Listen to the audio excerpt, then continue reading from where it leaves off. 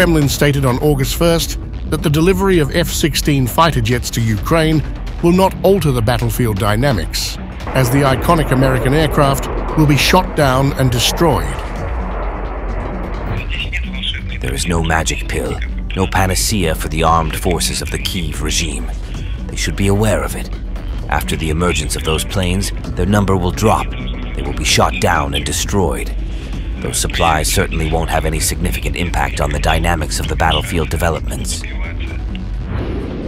In the high-stakes arena of modern warfare, the arrival of F-16 fighter jets in Ukraine is akin to a new player entering a high-profile tournament, promising to redefine the rules of engagement.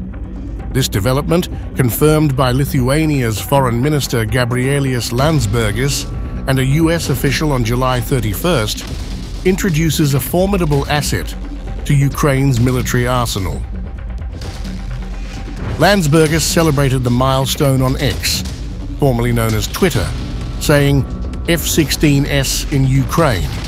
Another impossible thing turned out to be totally possible.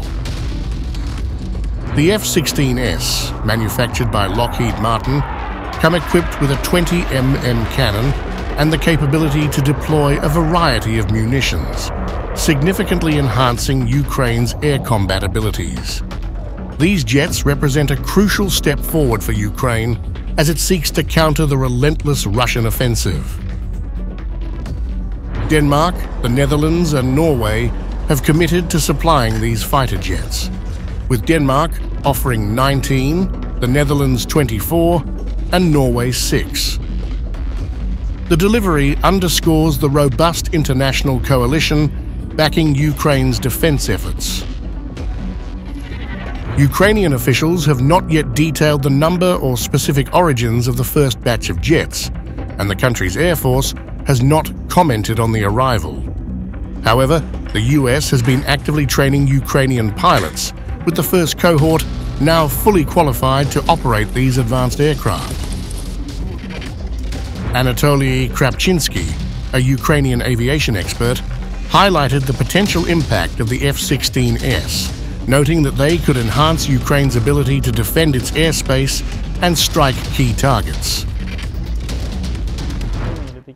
We would like our Western partners to be more prompt in decisions regarding the provision of weapons. And we must not forget that those weapons, most of the weapons provided by our Western partners, are weapons for defense, but not for solving strategic problems in major cases. Because most of the strategic problems that Ukraine solves, it solves them at the expense of its own unmanned systems. F-16S can carry JASSM missiles which work for a thousand kilometers, and this can significantly affect the logistics capabilities of the Russian Federation, so it is necessary to talk about the fact that they transmit with these missiles. That is, it will significantly increase Ukraine's capabilities.